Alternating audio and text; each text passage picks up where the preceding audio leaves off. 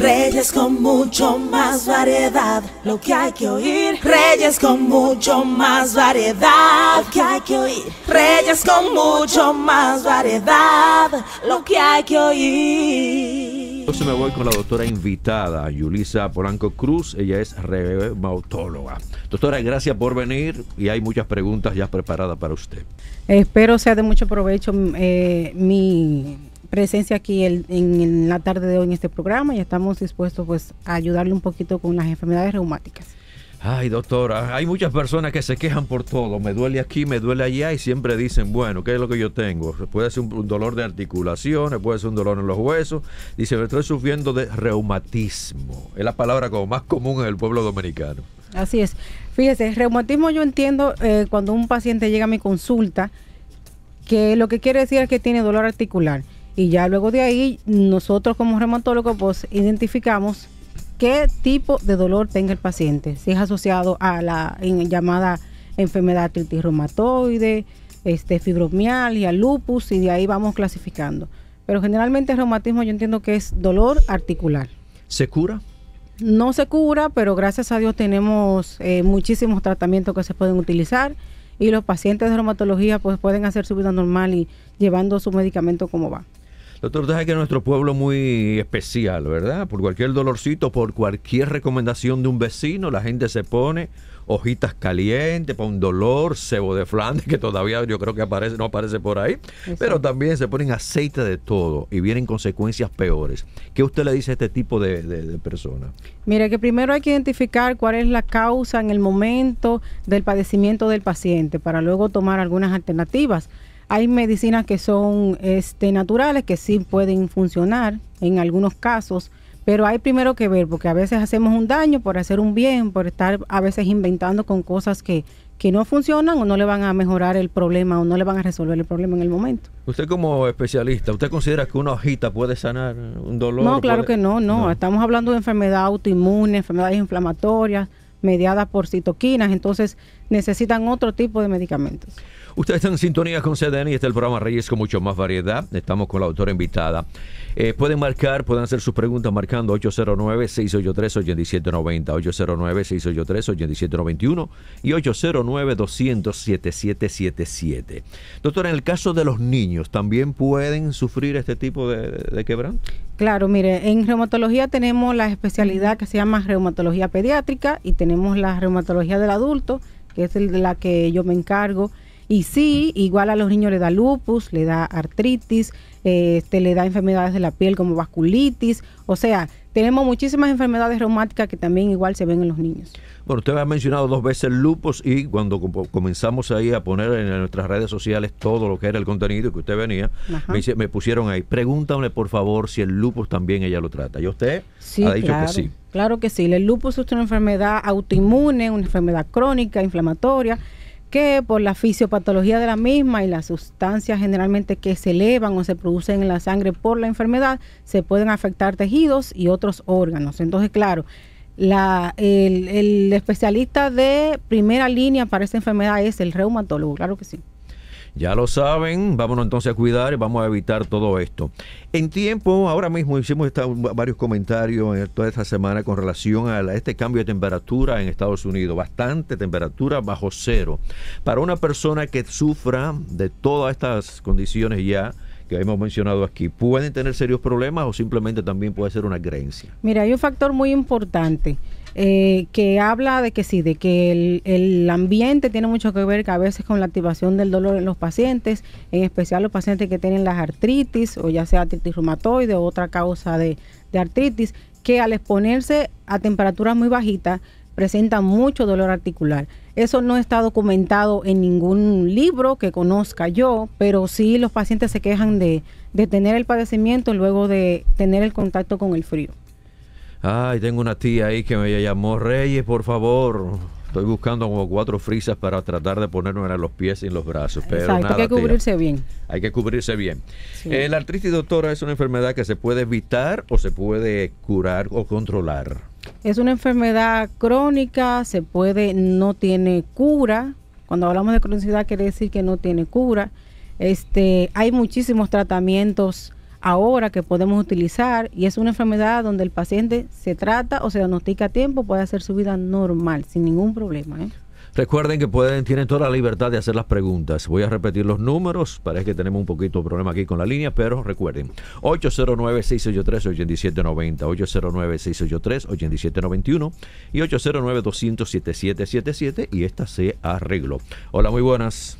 Sí, buenas tardes. Hola. bendiciones. Gracias. Usted puede bajar un poquito el Lorenzo volumen. de los restauradores. Perdón, corazón. Cuanto a esa enfermedad, Bájeme un poquito el va volumen. variando. Para mí, que soy una mujer que tengo 71 años, de aquí de los restauradores Narcisa Lorenzo, Sí, yo tuve un proceso que cuando llegué como a los 60, a mí no había día del mundo que no me doliera algo.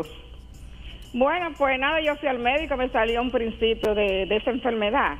Entonces me recetó unas pastillas, dije, no, yo soy una mujer cristiana, no hay más bueno que la fe y sembrar usted ese granito de, de en su corazón de fe. Y yo con el aceite que dan en la iglesia para ungir los enfermos, yo traté ese tratamiento y yo le escribí al Señor, Señor, no esta enfermedad, adiós, a mí no me duele ni una uña, gracias al Señor. Quédese ahí, señora. Una cosa. ¿el- ¿Fue un médico que le recetó la- las pastillas? El doctor me recetó una pastilla que le decían Bioplex.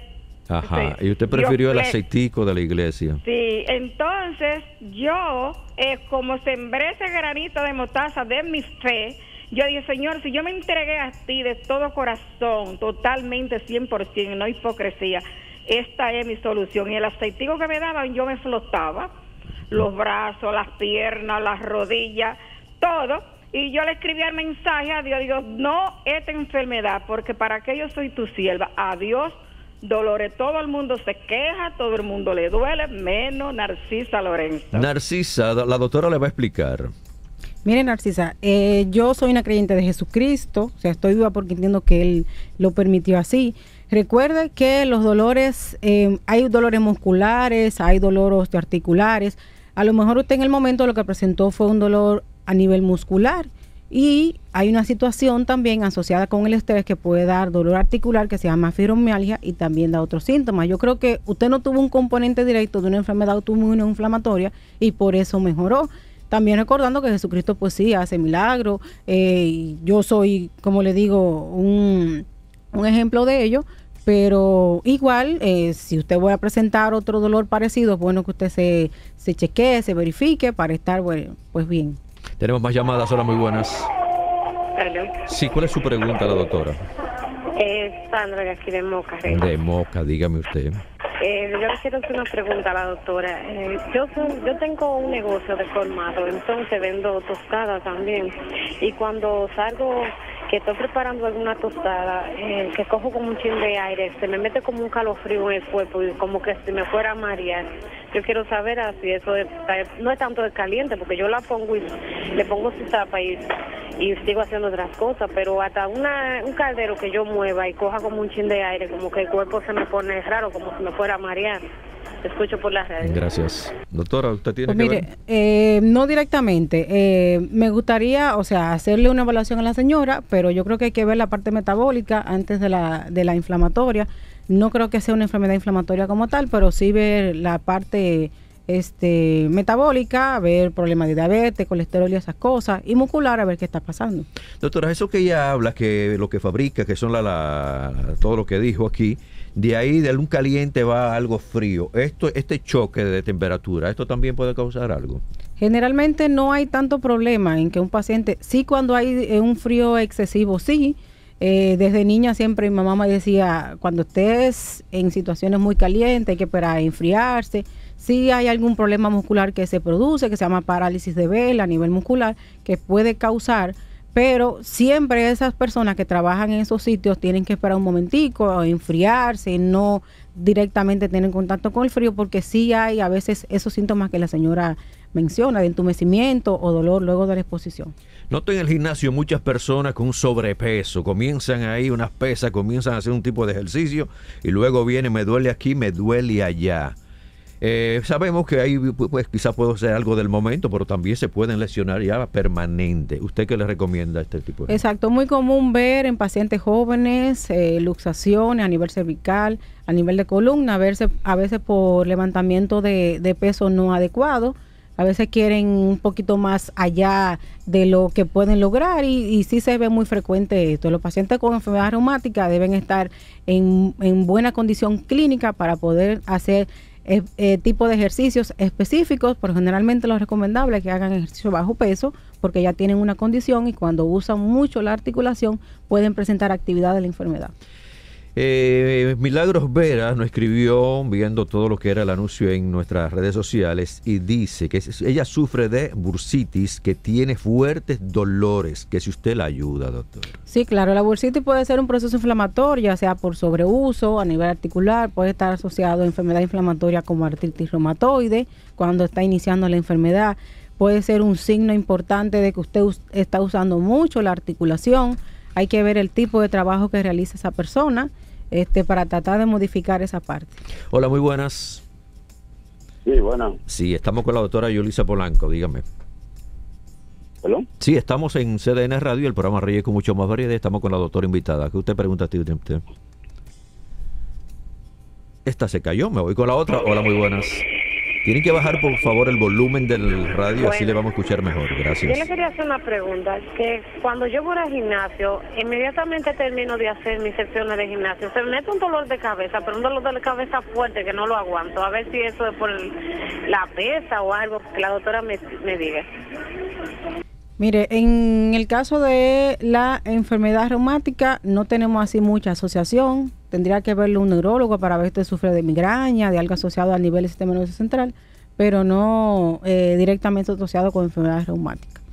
Doctora, la estadística en la República Dominicana, ¿o existe una estadística de personas con problemas reumáticos? República Dominicana no tenemos un dato así este directo, pero sí, pues mundialmente con relación a algunas enfermedades, por ejemplo el lupus, eh, la artritis reumatoide, que es más frecuente generalmente, en, el lupus es más frecuente en mujeres, eh, la artritis reumatoide también se puede ver mucho en mujeres, pero cuando hablamos de lupus es raro ver el hombre, la asociación es de cada mm, nueve mujeres, solamente tenemos un hombre con lupus, pero generalmente es un poquito más agresivo que en la mujer. Es como usar el palchito para cualquier dolor muscular. ¿Usted está de acuerdo con los palchos? Funciona, depende pues la condición del paciente. Nosotros no lo usamos mucho porque tenemos otro, otra condición inflamatoria, pero se usa más para problemas cervicales, eh, hernias lumbares, cosas así. Se puede usar en Se podría, sí, en pacientes que tienen enfermedad muy crónica, mucho dolor. Más llamadas para usted, doctora. Hola, muy buenas. Sí. Sí, dígame la pregunta para la doctora. Sí, buena. Hola, baje, baje un poquito el volumen de su equipo, por favor. mucho. Dígame ahora. Eh, yo llamo a la doctora para, para preguntarle que yo últimamente estoy sufriendo de unos dolores en el cuerpo que no lo aguanto. El cuerpo entero me duele mucho. Yo tengo 52 años y tengo mucho tiempo trabajando. Doctora. La, la preguntita directa para esa señora sería que si el dolor tiene alguna asociación con el estado de estrés, de trabajo en la casa, eh, si tiene alguna alteración del estado de ánimo, igual había que hacerle una valoración. Hay varias enfermedades que se pueden asociar con el dolor muscular. La que más se pareciera un poquito es la que se llama fibromialgia, que se asocia pues, a situaciones de dolores crónicos con el estrés. Hola, muy buenas. Están ustedes con sintonía con el programa Reyes con mucho más variedad. Estamos con la doctora invitada. Dígame usted. Hola, buenas. Le quiero preguntar a la doctora. Sí. A mi, mi esposa siempre le da dolor en los, los huesos de los dedos y se le hinchan los dedos. ¿A a? Bueno, cuando ya hablamos de, de dolor a nivel de las partes vitales de los dedos, estamos hablando de una condición inflamatoria. Esa señora hay que hacerle una evaluación porque podría ser una artritis reumatoide que está iniciando porque es una enfermedad de articulaciones pequeñas, afecta más las manos, este, las muñecas y a esa señora hay que hacerle una valoración. Hay gente que a veces se queja de me duele aquí, me duele allá, pero también hay que ver la posición de la cama y también las condiciones del colchón, doctora. Exacto, ha- hay muchos dolores musculares referidos, de, de cuello, eh, de espalda, que a veces están asociados a mal posición, eh, a veces almohadas muy altas, eh, dormir en, en posiciones no adecuadas, claro que sí. Hay algo, algunas condiciones que se dan y es, la, por ejemplo, la- nosotros que trabajamos frente a una computadora, quizás la computadora está muy bajita o está muy alta, hay que bajar mucho la cabeza o también en la misma posición para ver la televisión. Entonces, ah, que me duele el cuello, ah, que me duele por aquí, que me duele por allá. Eso es parte también. Entonces, vamos a buscar la mejor manera de tener una buena posición a la hora de trabajar. Tenemos llamadas, doctora. Buenas. Bueno. Sí, hola. buenas. Su pregunta. Buenas. Hola. Una preguntita, la siguiente. Bueno, justamente casi están hablando ahora mismo de la posición en el trabajo. Yo duro mucho tiempo sentada y últimos meses se me ha entrado un dolor en la espalda baja que me coge hasta los glúteos y me coge la pierna y ahora estoy falseando como en la rodilla. Yo me hice una resonancia, estoy me entregan los resultados, pero más o menos a ver si tiene algún algo que decir acerca de eso. Gracias. Sí, fíjese, hay una enfermedad que nosotros vemos en reumatología que se llama espondilo, espondiloartritis inflamatoria. Usted está refiriendo a un dolor en la espalda baja, en cadera, irradiado. En ese caso se podría hacer una valoración para ver si, ese es, si es ese tipo de enfermedad. Hay otros síntomas que da, eh, pero ya eso sería pues después de una evaluación que uno le haga directamente a usted, haciéndole algunas preguntas. Y el primer paso ya se dio, que fue hacerle pues un estudio de imagen, en este caso resonancia, para ver tejidos blandos y músculo y a ver qué puede estar pasando. Podría ser también algo de hernia discal que pueda tener la paciente, pero hay que ver también lo inflamatorio. Que si el reumatismo se, se hereda, doctora. El reumatismo tiene un componente hereditario importante, por ejemplo, la osteoartritis. Eh, si su mamá o su papá tienen este padecimiento, que es la que se produce por desgaste a nivel articular, usted la puede padecer, pero claro, tiene que tener exposición de algunos factores ambientales. Sobre- Hola, muy buenas. Buenas tardes. Sí, su pregunta a la doctora. Sí. Mire, doctora, eh, la pregunta mía es, yo desde niña, a mí todo me duele, a mí no hay quien me toque. Mi abuela me decía, pero tú no te vas a casar, porque a mí me duele todo, doctora. Yo me toco debajo de los ojos, me duele. A mí mi hijo me abraza, me duele. Todo ¿Qué edad usted duele, no tiene, sé por señora? ¿Cuántos años usted tiene? 49, soy menopáusica ya, pero soy así desde siempre. Ok. Pues mira, el dolor muscular crónico se puede asociar a una entidad que se llama fibromialgia. Entonces hay que darle una valoración a usted, ver si estamos hablando de la misma enfermedad. Pero es muy característico que los pacientes refieran ese dolor así, como que todo le duele, a veces hasta la ropa le molesta, tocarle la piel le duele. Yo creo que sí, que usted tendría un componente asociado con esta enfermedad llamada fibromialgia. Estos dolores en los huesos, doctora. Eso a veces, ¿qué se debe? Hay muchas causas de dolor de los huesos, de reumatismo, como dicen los pacientes. No todo lo que duele es artritis reumatoide, no todo lo que duele es osteoartritis. Hay muchísimas más enfermedades que se asocian como primer síntoma con dolor articular. ¿La alimentación tiene que ver quizá en algún factor? Se dice que los pacientes que ingieren mucha grasa eh, están asociados a tener más actividad de dolores musculares por el mismo proceso de que la grasa produce un proceso inflamatorio per se, aparte de la enfermedad autoinmune que tenga el paciente en ese momento. Y hay sí una asociación con relación a esas dos entidades. Hola, muy buenas. Buenas, Reyes, ¿cómo está? Yo estoy de maravilla. ¿Y Este, usted yo cómo quiero está? hacerle dos preguntitas a la doctora. Hágala. Yo trabajo eh, en una casa de familia. Yo siempre trabajo con la cabeza para abajo. Y casi siempre me duele mucho en la, en la espalda, pero ya en la parte alta, ya llegando al cuello. Yo quiero saber si eso se asocia a la misma, al mismo tema de que yo siempre tengo la cabeza para abajo. Y otra cosa, eh, los brazos. Lo, con los brazos yo no puedo hacer de que brillar ni nada de eso, cosa que yo tenga que hacer mucha fuerza.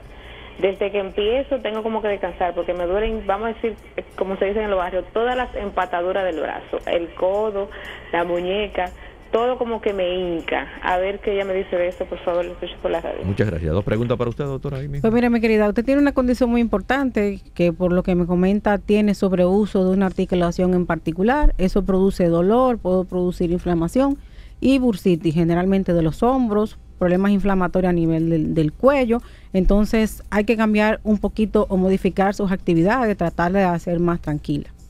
Bueno, esta se nos cayó, entonces eh, repetimos 809-683-8790, 809-683-8791 y 809-200-7777 de celulares y también del interior, gratis. Hola, muy buenas. Buenas. Yo soy una mujer de 38 años y yo vivo una vida, vida hago ejercicio todos los días eh, en el gimnasio, pero una que otra cosa me puede doler más que molestar, pero entiendo que es el mismo esfuerzo físico. Sin embargo, cuando yo me voy a bajar, ya sea sentarme en el sanitario, yo escucho las rodillas que suenan como crujientes, pero no me duele, pero yo le escucho siempre. ¿Qué puede ser? Gracias. Ok, si usted es una paciente joven que hace mucho ejercicio, tenemos que ver la condición clínica que tienen sus rodillas actualmente. ¿Por qué? Porque a veces forzamos mucho los huesos eh, haciendo ejercicio, levantando cosas pesadas. Entonces hay que ver si usted tiene un componente por el sobreuso asociado a un poquito de desgaste de las rodillas. Como usted me dice, esa crepitación es lo que tenemos nosotros que buscar. Eh, bueno, y una pregunta parecida es con relación al sonido de los codos. Hay articulaciones que a veces truenan porque a uno a veces le hace movimientos un poquito bruscos o en el momento el cuerpo no se prepara para hacer el movimiento. Eh, puede ser la causa o puede ser que el paciente ya tenga un poco de desgaste en esa articulación. Hola, muy buenas. Estamos con la doctora invitada Yulisa Ah, Polanco buenas, Cruz. Reyes. Dígame Eh, usted. es para hacerle una pregunta a la doctora. Aproveche. Eh, yo tengo hernia eh, aquí detrás, eh, detrás del pescuezo, no sé cómo que dicen, si es... cuello, cuello. Cervical ahí. La Sí, cervical ahí arriba. exactamente. Entonces, este, a mí se me hace como dificultad para respirar. Yo quería saber si eso tendría que ver con eso, porque yo voy y me hago análisis de los pulmones y todo y salgo bien. Yo ¿Qué? quiero ver si usted me dice algo, si La usted tiene conocimiento de eso. La doctora le va a decir. Usted está hablando de una condición, o sea, son dos, dos entidades diferentes. Problemas cervicales, usted me está hablando de que no puede respirar. Entonces, lo primero es, hay que ver si usted no fuma, hay que ver el peso suyo primero, hay que ver si usted ronca en la noche y hay que ver si usted tiene algún problema de asma, algún antecedente para poder ver qué está pasando en la vía respiratoria, porque todo apunta a que es un problema respiratorio. Hola, más llamadas. Hola, muy buenas. Buenas tardes, Reyes. Señor, dígale la pregunta a la doctora. Cómo no, gracias. El, doctora, ¿hasta qué eh, nivel crónico puede entrar en escena y resolver la situación la fisioterapia en el caso específico de la columna vertebral? Gracias, mi hermano. Oh, muchísimo. Mire, los problemas de eh, articulares mejoran muchísimo cuando nosotros hacemos combinaciones con, primero, la evaluación de su médico, segundo, el tratamiento que se le dé en ese momento y tercero, la terapia. Claro que sí, la terapia es un, una parte muy importante para que el paciente mejore. Acuérdense que los dolores musculares pueden hacer que se entuman o se pongan rígidos los músculos, entonces la terapia nos ayuda muchísimo en esa parte. Primero a veces a incorporar el paciente a su trabajo, aparte de los medicamentos, y a quitar un poco el dolor, que nos ayuda muchísimo a las contracturas musculares y toda esa parte. Hola, buenas. Ah, soy yo otra vez, Reyes, para decirle a la doctora que directamente no es que no puedo respirar, sino como cuando uno se desahoga, como que uno suspira así. Eso es lo que se me hace difícil, pero yo no fumo, yo no, no ni tomo alcohol ni ¿Cómo? nada de eso. Usted tiene que verlo un especialista del pulmón que se llama neumólogo para que le haga una valoración, espirometría, radiografía de tórax y ver qué está pasando ahí. Sí, buenas. Buenas tardes. Hola. Sí, buenas tardes. Sí, haga la pregunta a la doctora Yulisa. Sí, buenas. Sí, sí, haga la pregunta, por favor. No, yo te paso la salud. Bueno. Estamos en un programa que tiene una sesión de salud, eso sí es verdad. Doctora, me dice una persona ahí que tiene L4, L5, y entonces cuando aprieta ahí como el, el ciático ahí, la ciática, eh, camina un poquito cojo. ¿Esto cómo lo ayudamos si es parte de, de lo suyo? No, ese paciente necesita generalmente terapia física, eh, que lo ve un especialista de columna, que son los neurocirujanos, los ortopedas, que, que generalmente tratan esa parte. Seguimos con el programa, seguimos con la doctora invitada. Hola, muy buenas. Me voy con esta, me voy con la otra. Mm, mm. No, se nos cayó esta. Doctora, unos consejitos entonces para tratar de, evitar dolores en el cuerpo, tener ahí, no tener ahí ningún tipo de consecuencia. Miren, primero, eh, el dolor articular hay que clasificarlo. El paciente que tenga dolor hay que ver por qué lo está padeciendo. Primero, para que usted esté tranquilo y segundo, para que podamos tratar una enfermedad a tiempo, la que sea, la que se presente. No todo dolor articular es artritis. Hay muchísimas enfermedades en el área de reumatología que pueden empezar con dolor articular. Entonces, hay que ver primero cuál es la causa para después darle un tratamiento y usted se va tranquilo para su casita. Eh, me escribieron ahí que la artista Selena Gómez sufre de lupus. Exacto, ya le hicieron un trasplante renal, es lo que tengo entendido. Eh, a los pacientes con lupus le va muy bien después de un trasplante, se responden perfectamente bien y ella tenía lo que llamamos nosotros nefritis lúpica, o sea, un proceso inflamatorio en el riñón secundario a su enfermedad. Ay, ay, ay. Doctora, el número de teléfono, la facilidad de nuestros oyentes comunicarse con usted. Bueno, yo actualmente estoy trabajando en el Centro Médico Moderno en horarios de la tarde. Eh, los teléfonos son 809-562-5509. Repetimos. 809-562-5509, Centro Médico Moderno. Doctora Yulis, entonces una buena alimentación, menos grasa, una buena posición al sentarse, ¿todo esto ayuda? Claro, todo eso ayuda a postura, a mantener, a tener menos dolor, más flexibilidad, claro que sí. En el caso de las personas que estamos ahí en un escritorio, la posición de las rodillas y la posición de la espalda. Usted habló ahora de, de una buena postura, pero en el caso de, de, las rodillas, hay personas que buscan un sillón muy profundo, muy, muy eh, lejos de todo lo que pueda ser la comodidad, pero además de esto muy alto, que no tienen lo que es la posición en 45 grados uh -huh. eh, en las rodillas y en los pies. Esto también es un factor de dolor. Puede ser un factor de que usted tenga algún proceso inflamatorio como eh, bursitis en, en una rodilla por mal posición o sobreuso puede tener contracturas musculares, pero no directamente la enfermedad como artritis o osteoartritis, nada de eso. Doctora, muchas gracias por estar con nosotros. A ustedes por la invitación. Reyes con mucho más variedad, lo que hay que oír. Reyes con mucho más variedad, lo que hay que oír. Reyes con mucho más variedad, lo que hay que oír.